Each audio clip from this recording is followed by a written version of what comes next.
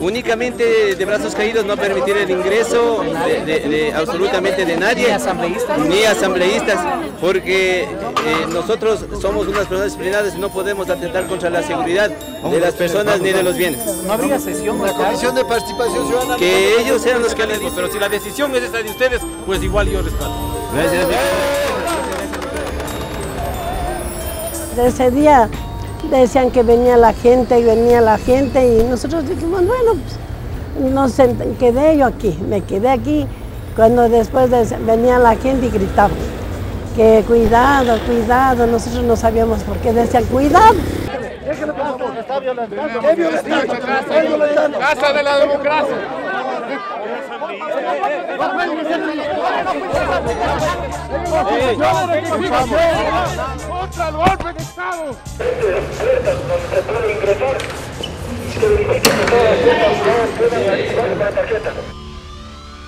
Mi hija me decía, mami, cierre, cierre porque le vayan a llegar las bombas. El gas le entra para adentro y se ahoga. No, puede, no se puede respirar. Acá vimos que ya más tarde llegó más policías con sirenas.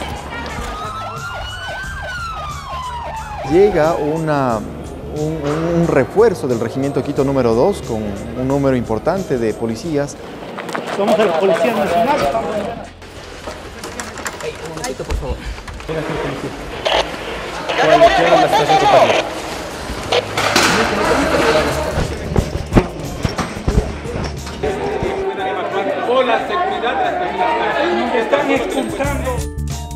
creo que atentaron contra nuestra integridad porque cuando le lanzan gas lacrimógeno no es para darle un buen recibimiento, cuando estallan bombas lacrimógenas en su entorno tampoco es para darle una buena llegada, sino para atentar a la integridad física.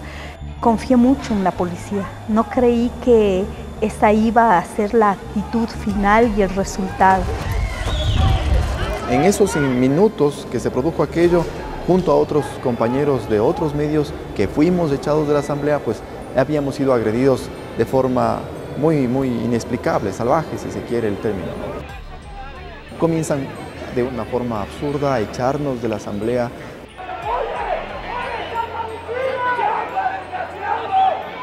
a empujarnos, a patearnos por los tobillos,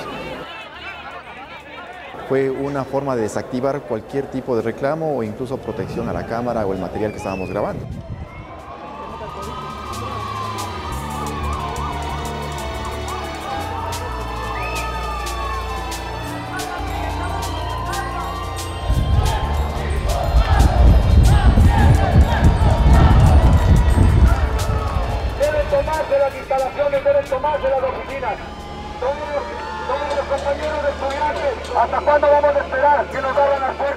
O nos tomamos ya de una vez la asamblea, ¿qué permiso necesitamos? Y la asamblea es del pueblo. Intento de golpe de Estado en Ecuador. Los policías sublevados. El presidente sigue secuestrado. En South America, the president of Ecuador. Ecuador's National Police and Esta crisis ecuatoriana deja imágenes impactantes. El presidente no puede salir del hospital. Está rodeado por policías sublevados, no lo pueden sacar de ahí. Cinco muertos, 193 heridos. Durante varias horas la democracia en ese país estuvo en peligro. Vamos a poder oír de primera mano lo que está pasando en este momento en su país, en Ecuador. Presidente Fernando Cordero, muy buenos días. En la Asamblea Nacional, en el recinto legislativo, bloquearon los accesos a que no entren los legisladores.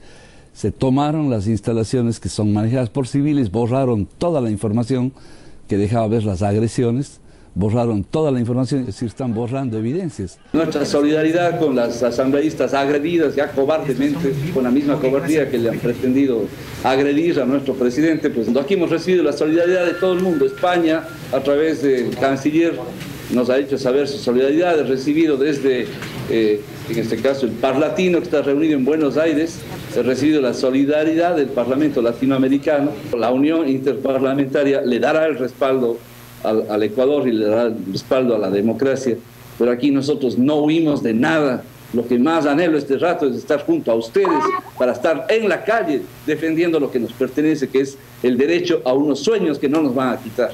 La policía tiene que regresar inmediatamente a sus cuarteles para hacerse acreedora a cualquier conversación y diálogo.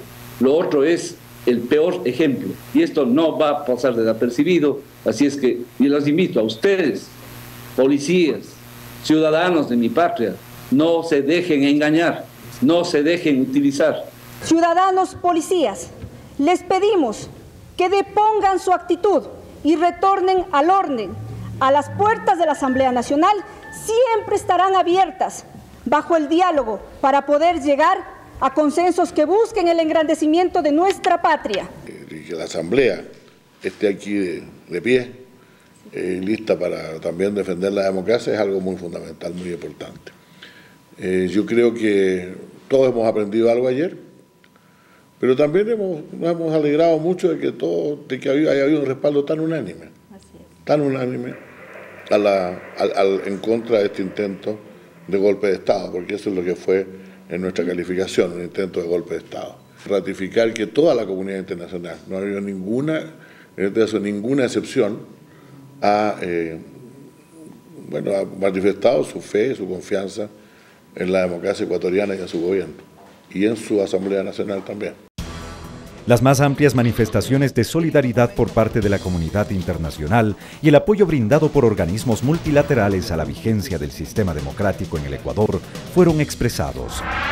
El Grupo Latinoamericano y el Caribe, GRULAC, repudió en forma enérgica el atentado contra el orden democrático, las instituciones, los derechos humanos y el Estado de Derecho, así como la retención del presidente constitucional de Ecuador, Rafael Correa.